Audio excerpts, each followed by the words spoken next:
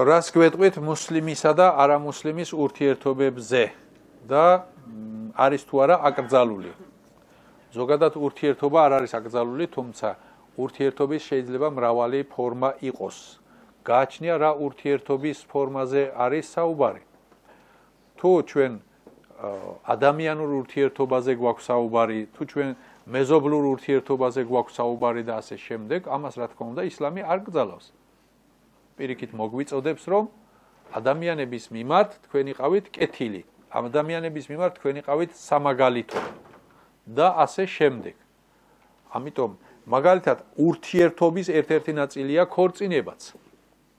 ამ შემთხვევაში მამაკაც შეუძლია შეირთოს ცოლად თქვათ ქრისტიანი ან ებრაელი, თუმცა ქალს არ შეუძლია გაყვეს ქრისტიანს ან ებრაელს. ამას გძალავს ისლამი. ანუ ესენიც ურთიერთობა არის, ძალმხრივად შეიძლება, მეორე მხრივ არ შეიძლება. ასევე ზოგიერთი ამ ურთიერთობაში განიხილავს, თქვათ, მათ დღესასწაულებთან დაკავშირებულ საკითხებს, რომ მათი დღესასწაულების მილოცვა, აღნიშვნა, მათთან ერთად ზეიმობა და ასე შემდეგ. ამას გძალავს ისლამი. ამ შემთხვევაში ისლამი ამბობს, რომ ლეკუმ დინუკუმ ველიედინ. თქვენი რჯული თქვენ, ჩვენი ჩვენ. ანუ რელიგიური საქმეები ერთმანეთში არ უნდა აურიოთ. რომ ქრისტიანი მუსლიმანი აღარ გიერჩევა იმ ფორმაში, არ უნდა შევიდეთ.